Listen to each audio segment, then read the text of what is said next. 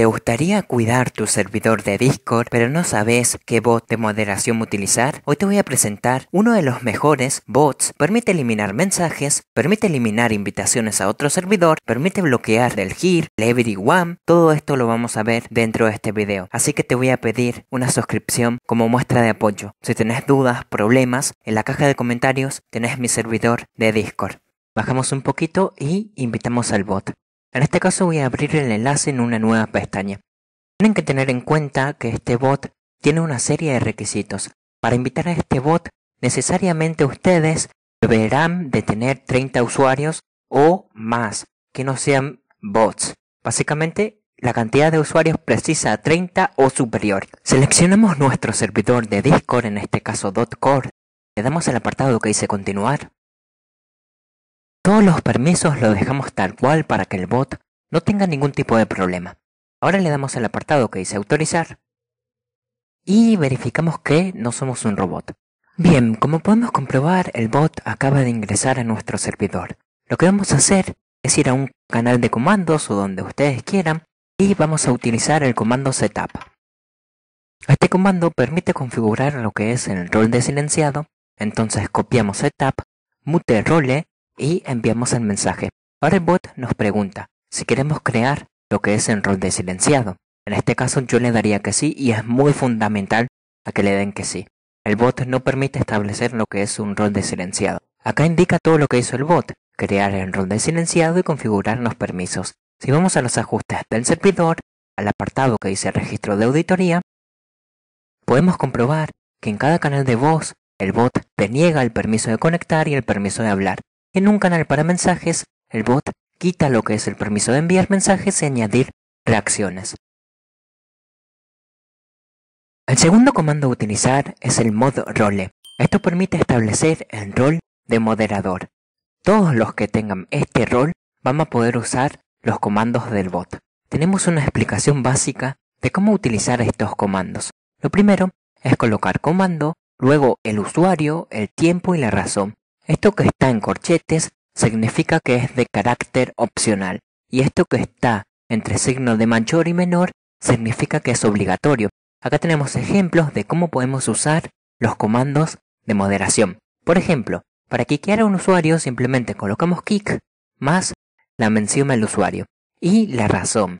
O directamente no colocan la razón. Lo mismo para silenciar. Pero la diferencia acá es que ustedes tienen que colocar la mención al usuario y en vez de escribir 10 mim, ponen 10 y al lado la letra M. Por si no comprenden, voy a copiar esto y voy a hacer de cuenta que yo estoy mencionando un usuario, por ejemplo a Tincho. Ya que tenemos a Tincho por acá, lo mencionamos. Y colocamos un 10 y una M. Esto significa que Tincho será silenciado durante 10 minutos. Podemos variar este número en segundos o en horas, que sería con H, muy importante, los baneos, muteos, silencios y todo lo que tenemos acá puede ser otorgado con la ID o con la mención del usuario. Bien, luego de esto tenemos una serie de comandos más, por ejemplo, para establecer el modo pausado que sería slow mode, pero nada de eso importa, vamos a lo más avanzado que sería el apartado de strike. Seleccionamos lo que dice strike y ustedes se preguntarán, ¿qué son los strike? Bueno, esto básicamente son una serie de huelgas, por darte a entender de otra manera, son infracciones que se le otorga al usuario. Por cada infracción, nosotros podemos establecer una acción. Las acciones son banear, silenciar, mutear, quiquear. Bueno, silenciar y mutear es lo mismo. Y básicamente lo que vamos a hacer es utilizar el comando punishment. Colocamos punishment. Ahora la cantidad de infracciones que se le otorgará al usuario por incumplir lo que es el automod o las acciones de moderación. En este caso, yo quiero colocar 5, 5 strike. Ahora vamos a colocar la acción, que básicamente las acciones vendrían siendo estas, banear, softbanear, quiquear y mutear. Ahora vamos a colocar una cantidad de minutos, en este caso 10 minutos. Si un usuario adquiere lo que son 5 infracciones, 5 strikes, se le mutea temporalmente por 10 minutos. Anteriormente yo puse lo que son series de strike. Por ejemplo, al tener 7 strikes, se le silencia durante 15 minutos y al tener 10 strikes se lo quiquea del servidor. En este caso, si yo coloco lo que son 10 y escribo el kick, directamente se le quiquea al usuario. También podemos poner que a las 15 infracciones se le banee. Esto si vuelve a ingresar el usuario. Si no entienden lo que es el tema de Strike, en la caja de comentarios tienen un servidor de Discord, según y les explico sin ningún tipo de problema. Vemos lo que es el apartado de automoderación. Básicamente el bot actúa por sí solo cuando se incumplen una serie de parámetros. Lo primero es el anti-invite. Colocamos anti-invite y la cantidad de strikes. En este caso 5. Bien, si yo coloco lo que son 5, se le mutea al usuario por incumplir lo que es el anti-invite. Si ustedes se preguntan, ¿qué hace el anti-invite? Bien, esto básicamente permite eliminar lo que es el mensaje del usuario si contiene una invitación a otro servidor. Todo eso lo podemos ver acá en la descripción del mensaje. Claramente que si no entienden mi inglés, lo vamos a traducir. También tenemos el anti-referral, que esto básicamente no sé qué es, pero como lo recomendado es 3, directamente le voy a poner 3. Y si nosotros ponemos un número menor a lo que nosotros tenemos establecido acá, se va a ir acumulando. Así que no se preocupen por esa parte. Por ejemplo, si el usuario envía lo que son dos invitaciones y nosotros tenemos establecido tres, justo la segunda invitación se lo va a mutear por 10 minutos. También acá tenemos todo lo que podemos configurar con el bot. Esto es una característica premium, entonces no lo vamos a hacer. Acá tenemos el anti-copy pasta, que esto básicamente es para evitar que el usuario ande copiando y pegando lo que son los típicos caracteres raros de símbolos y todas esas cosas. Yo recomiendo que pongan uno así como lo recomiendo en esta página web. También tenemos el anti-everyone y el anti-here. Esto por si un usuario pone lo que es el here. No, se me fue la mención, me mencioné en medio usuario.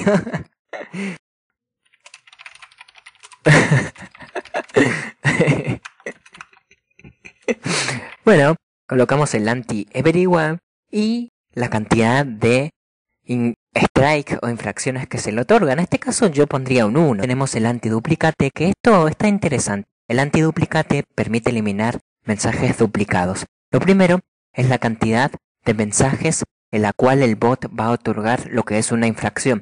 Si el usuario envía lo que son 5 mensajes duplicados, se le otorga un strike. En este caso yo pondría que se le otorga 5 strike, que esto equivale a un silencio temporal. El número del medio indica en qué momento se va a borrar esos mensajes. Por ejemplo, si el usuario envía lo que son tres mensajes duplicados, se borra en esa cantidad. Y justo en el mensaje 5 se aplica lo que es el strike. Entonces pueden repetir este número dos veces o dejarlo así tal cual. Luego tenemos el máximo de menciones. Podemos establecer el máximo de menciones para un usuario en 10, para un rol en 4 y si queremos desactivar ponemos off. El máximo de línea sería cuántos renglones quieren que los usuarios puedan enviar los mensajes. Hagan de cuenta que tienen una hoja normal. Mientras el número sea mayor, los usuarios podrán escribir mensajes más largos. 200 podría ser, para mí estaría bien eso. Es cuestión de evaluar a diestra y siniestra qué cosa funciona para ustedes y para su servidor. Tenemos el anti-raid mod, que esto permite básicamente expulsar a usuarios cuando ingresan en una cantidad determinada de segundos. Por ejemplo, acá tenemos recomendado lo que son 10 de 10. Esto quiere decir que si 10 usuarios ingresan en 10 segundos, el bot expulsa a los usuarios y los advierte por el privado. Les dice que hay una actividad sospechosa. Básicamente esto sirve para evitar cualquier raideo dentro de nuestro servidor. Entonces colocamos auto raid mod y a partir de este momento, por cada 10 ingresos, en 10 segundos el bot estará pateando a cada usuario. Esto lo pueden ampliar o reducir dependiendo de sus preferencias. Bien, ahora sigue el auto de hoist. Esto básicamente, si yo presiono lo que es control U, voy a tener una serie de usuarios con unos caracteres determinados. Por ejemplo, Alekai, Jader y cualquier otro usuario comienza con la exclamación que va hacia abajo.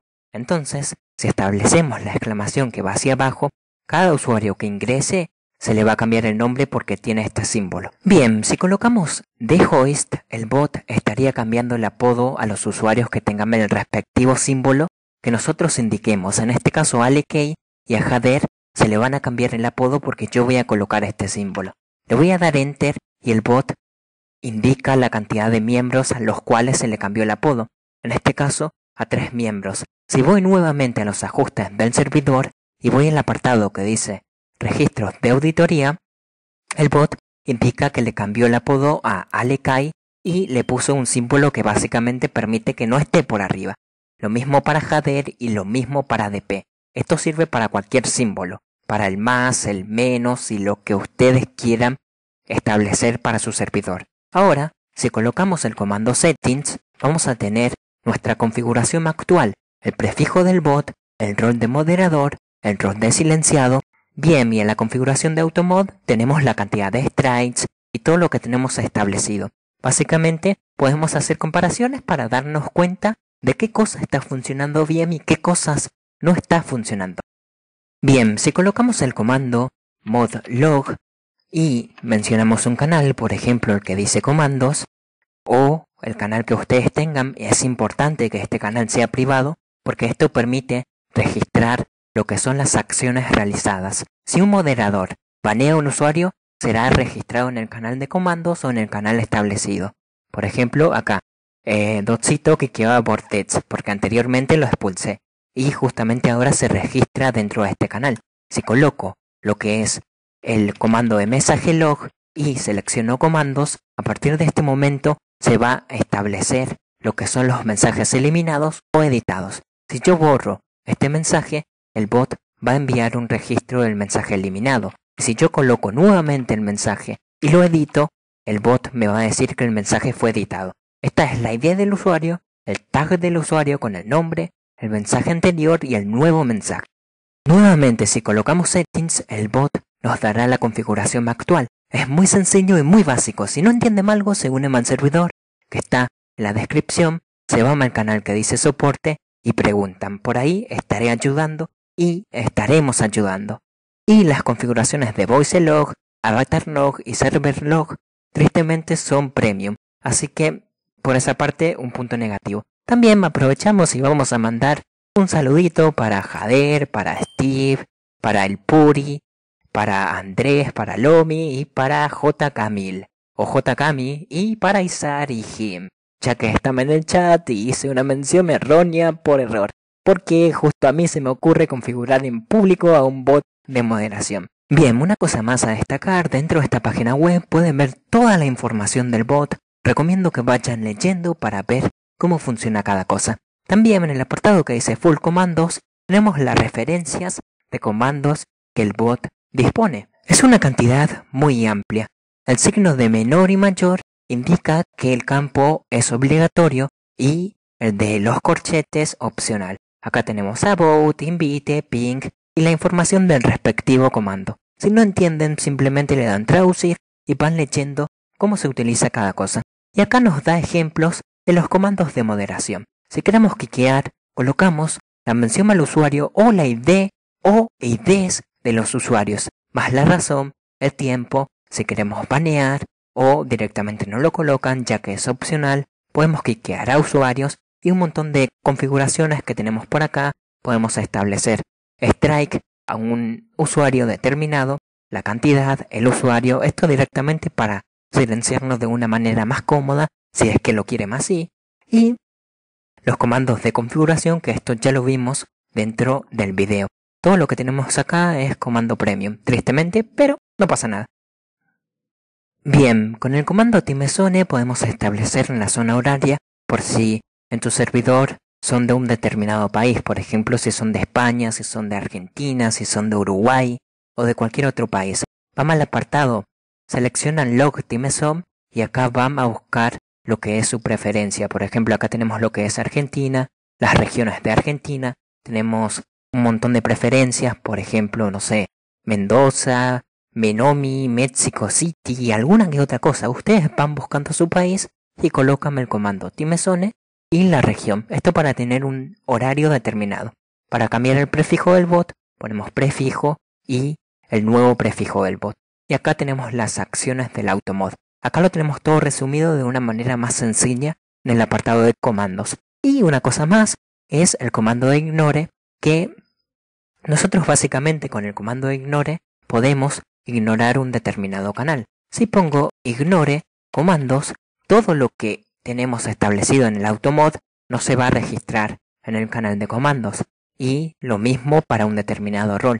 Si yo selecciono lo que es un rol, el bot no va a tener efecto sobre ese rol. Y el unignore sirve para quitar lo que es el hecho de ignorar al usuario. Y acá tenemos las herramientas que podemos hacer anuncios, podemos, eh, tener, podemos tener una auditoría de host, que ya lo mencioné, el lookup, que ni siquiera sé para qué es, pero es cuestión de ir investigando e ir explorando. Te solicito una suscripción para no perderte de más contenido. Si tienes problemas, te vas a mi servidor, al apartado de soporte, escribís tu problema por acá, necesito ayuda con tal cosa, este es mi problema y nosotros te vamos ayudando. Ahora sí, muchas gracias por ver.